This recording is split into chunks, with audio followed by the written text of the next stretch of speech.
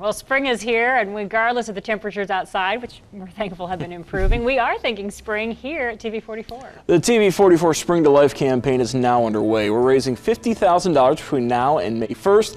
Join us as we use these funds to spread the life-giving message about Jesus Christ to everyone who can see TV44 or can access us through the internet. In reality, it's only Jesus who can give life, give us the ability to give a life of freedom in Christ during our time here on earth and promise us that incredible insurance of life everlasting with Him in heaven. Spring to Life campaign is underway. Will you join us? This month we ask you to prayerfully consider a gift or pledge. Also be in prayer that your church would feel led to partner with TV44 financially. Maybe your Bible study group, your extended family, or maybe you want to give in memory or in honor of a loved one. You can donate securely online at WTLW.com or call 419-339-4444. You can also con connect with us through the mail at 1844 Beatty Road, Lima, Ohio 45807.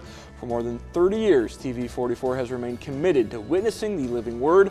We praise God for his provision and the fact that this part of Western Ohio still has the blessing of a locally owned Christian television station. We agree with people like Renee who say, I'm so thankful for TV44 provides the light of Jesus to all, even those who can't, who feel like they can't go through a church door. That's exactly what we want to be. That's right. We want to be that open door for anybody at any time. So be a part of the Spring to Life campaign, and we just want to say thank you very much.